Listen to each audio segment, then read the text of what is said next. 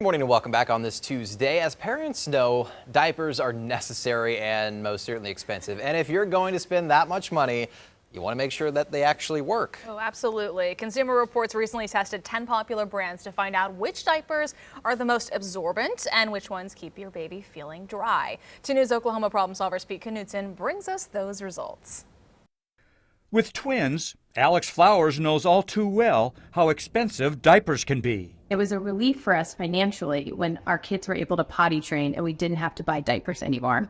But until then, babies and toddlers use diapers, lots and lots of them, and the costs add up with each change. Now, Consumer Reports is out with brand new testing of 10 popular diaper brands, ranging in price from 11 to 51 cents a diaper.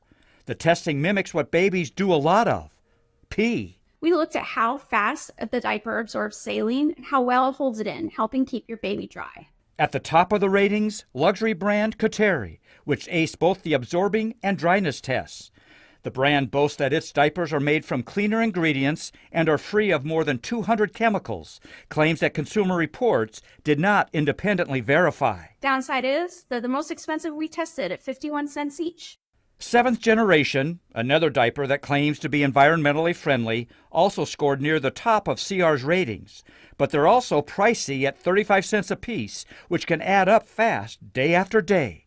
The good news? There are more budget friendly alternatives that scored well too. Amazon's Mama Bear and Walmart's Parents' Choice are good options for well under 20 cents a diaper. Well known brands like Huggies, Pampers, Luvs, and Kirkland are all recommended, landing in the middle of CR's ratings.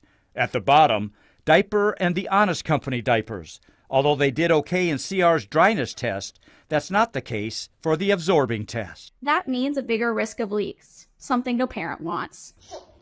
Consumer Report says all 10 diapers passed its safety testing, which screened for heavy metals and phthalates. Pete Knutson, 2 News Oklahoma, problem solvers.